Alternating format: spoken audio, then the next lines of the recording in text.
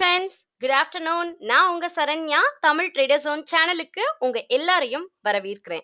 நாம இப்ப இந்த வீடியோல பார்க்க போறது நம்மளோட நிறைய சப்ஸ்கிரைபர்ஸ் கமெண்ட்ல கேட்டிருந்ததும் வாட்ஸ்அப்ல கேட்டிருந்ததும் ஆர்பிஐ ஆர்பிஐயோட ரெப்போ வட்டி விகிதம் எப்படி வந்திருக்கு அப்படிங்கறத பத்தி நிறைய சப்ஸ்கிரைபர்ஸ் கேட்டிருந்தீங்க. ஸோ நாம இப்ப இந்த வீடியோல மானிட்டரி பாலிசி பத்தின டீட்டெயில்ஸை தான் பார்க்க போறோம். ஸோ இந்த ஆர்பிஐயோட ரெப்போ வட்டி விகிதம் எந்த வருடமும் இல்லாமல் இந்த வருடம் ரொம்ப அதிகமாக எதிர்பார்க்கப்பட்டது அப்படின்னே சொல்லலாம். ஏன்னா புதுசா நியமிக்கப்பட்ட ஆர்பிஐ கவர்னர் சக்தி காந்ததாஸ் அவர்கள் எந்த மாதிரி முடிவு கொடுக்க போறாரு? ஸோ ரெப்போ ரேட் எப்படி இருக்க போகுது அப்படிங்கிற expectation so repo rate in இந்த வாரம் வரும் அப்படின்னு சொன்ன வாரத்தோட முதல் நாளில் இருந்தே இதோட எக்ஸ்பெக்டேஷன் தொடங்க ஆரம்பிக்கப்பட்டது அப்படின்னு சொல்லலாம். அதே மாதிரி அதுக்கேற்ற மாதிரி பல பாசிட்டிவான நியூஸஸ் மார்க்கெட்டையும் பாசிட்டிவாக கொண்டு போயிருந்தது. ஸோ இந்த ரெப்போ ரேட்டோட நியூஸ் மார்க்கெட்டுக்கு எந்த விதத்திலையும் பாதகம் பாதகமா அமைஞ்சிடக்கூடாது அப்படிங்கிறதும் ஒவ்வொரு எக்ஸ்பர்ட்ஸும் நினைச்ச விஷயம். ஸோ அதுக்கேற்ற மாதிரி இன்னைக்கு ஏழு ரெண்டு ரெண்டாயிரத்தி பத்தொன்பது வியாழக்கிழமை அன்னைக்கு மிஸ்டர் சக்தி காந்ததாஸ் அவர்கள் ரெப்போ ரேட்டை வந்து அறிவிச்சிருக்காங்க. அது என்னவா வந்திருக்கு அப்படின்னா வங்கிகளுக்கு ரிசர்வ் வங்கி வழங்கிய குறுகிய காலன் தொகைகள் குறுகிய கால கடன் தொகைகளுக்கான வட்டி விகிதத்தை ஸோ அதுக்கு வந்து வட்டியா கொடுக்குற அந்த ரெப்போ வட்டி விகிதம் பாயிண்ட் டூ ஃபைவ் சதவிகிதம் குறைக்கப்பட்டுள்ளது அப்படின்னு சொல்லியிருக்காங்க. இதன் மூலம் குறுகிய கால கடனுக்காக வட்டி விகிதம் ஆறு புள்ளி ஐந்து சதவிகிதத்திலிருந்து ஆறு புள்ளி இரண்டு சதவிகிதமா குறைந்துள்ளது. ஸோ ரிசர்வ் வங்கியின் இந்த நடவடிக்கையால் வீடு வாகன கடன்களுக்கான வட்டியை வங்கிகள் குறைக்க வாய்ப்புள்ளதாக கூறப்படுகிறது. ஸோ ரிசர்வ் வங்கியின் ஆறாவது ஆறாவது நிதி கொள்கை ஆய்வு கூட்டம் பிப்ரவரி ஐந்தாம் தேதி முன் நடந்து வருகிறது. ரிசர்வ் வங்கி கவர்னராக சக்தி காந்ததாஸ் பொறுப்பேற்ற பிறகு நடந்த முதல் கூட்டத்தில் வட்டி விகிதம் குறித்த அறிவிப்புகள் இன்று வெளியிடப்பட்டன. டிசம்பர் மாதத்தில் பணவீக்கம் டூ பாயிண்ட் டூ சதவிகிதமாக குறைந்ததன் காரணமாக நிதி கொள்கையில் மாற்றம் செய்யப்பட்டு ரெப்போ வட்டி விகிதம் குறைக்கப்பட்டுள்ளது.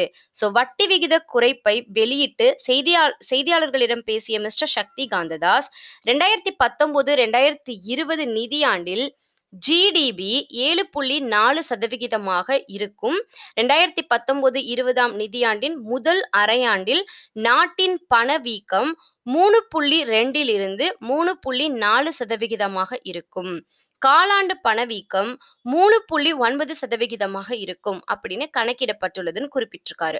உலக ஏற்றுமதி சந்தையில் தேவை குறைந்ததன் காரணமா ரெண்டாயிரத்தி பதினெட்டு நவம்பர்ல இருந்து டிசம்பர் மாத மாதங்கள்ல ஏறக்குறைய குறைஞ்சிருக்கு அப்படின்னு குறிப்பிட்டிருக்காரு.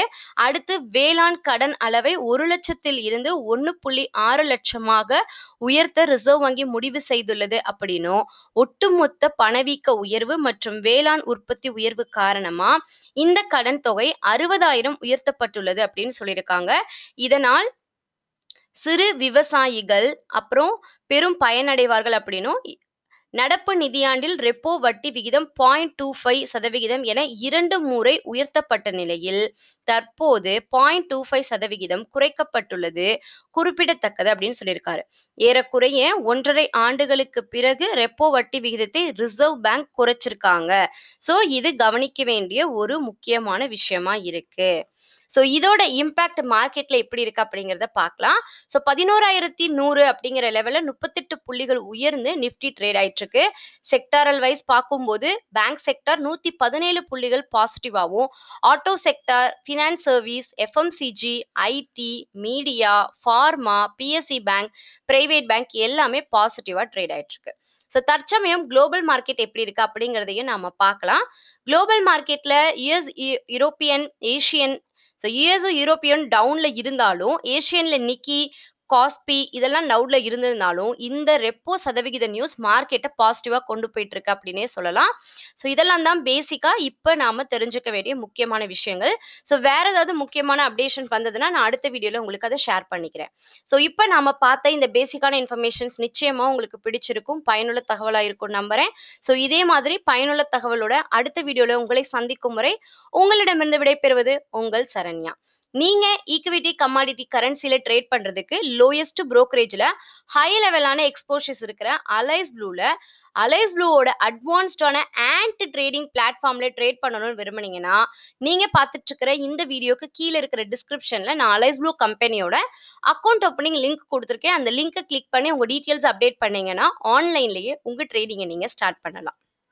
அது மட்டும் இல்லாமல் மார்க்கெட் சம்மந்தமான அப்டேட்டடான நியூஸஸ் உங்களுக்கு தெரிஞ்சுக்கணும்னு விரும்புனீங்கன்னா அதே டிஸ்கிரிப்ஷனில் வாட்ஸ்அப் குரூப் லிங்க் கொடுத்துருக்கேன். இந்த லிங்கை கிளிக் பண்ணி உங்களுடைய நேம் உங்களுடைய பிளேஸ் இமெயில் அட்ரஸ் அப்டேட் பண்ணீங்கன்னா இந்த குரூப்பில் நீங்கள் ஆட் ஆகிக்கலாம் ஸோ அதுக்கப்புறமா மார்க்கெட் சம்மந்தமான அப்டேட்டடான நியூஸஸ் எல்லாமே வீடியோ போடுறதுக்கு முன்னாடியே உங்களுக்கு வாட்ஸ்அப்பில் ரிசீவ் ஆகிடும் ஸோ தேங்க்யூ ஸோ மச் இதே மாதிரி பயனுள்ள வீடியோவோட சீக்கிரம் உங்களை அடுத்த வீடியோவில் சந்திக்கிறேன். நன்றி. Have a great day